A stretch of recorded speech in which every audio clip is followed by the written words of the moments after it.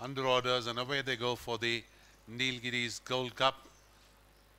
And as they settle down, Supreme Dance showing out from Priceless Gold and Evaldo in that order as they go past the 1400 meters.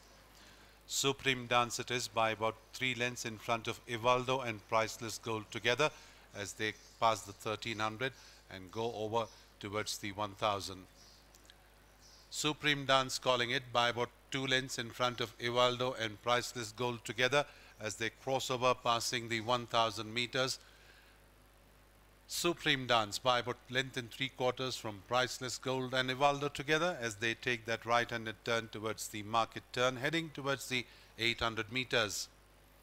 Supreme Dance by about two lengths in front of Evaldo. Another two lengths away is Priceless Gold as they come to cross the 600. Supreme Dance making the running and leading this field by about a length and a half from Evaldo. Another length and a half behind is Priceless Gold. They stride past the 600.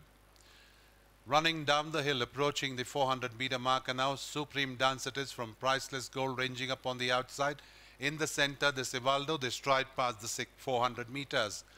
Field of three runners, Supreme Dance in a start to finish mission is about length and a half from Priceless Gold and this Evaldo as they swing around the corner. Passing the 200 meter marker now. Supreme Dance still holding the fort. Four lengths clear of Priceless Gold and Evaldo is in third. Going inside the last 100 meters, it is Supreme Dance being driven out there by P. Sai Kumar. Supreme Dance lifts off the Nilgiris Gold Cup in a start to finish affair from Priceless Gold and Evaldo as they go past the post.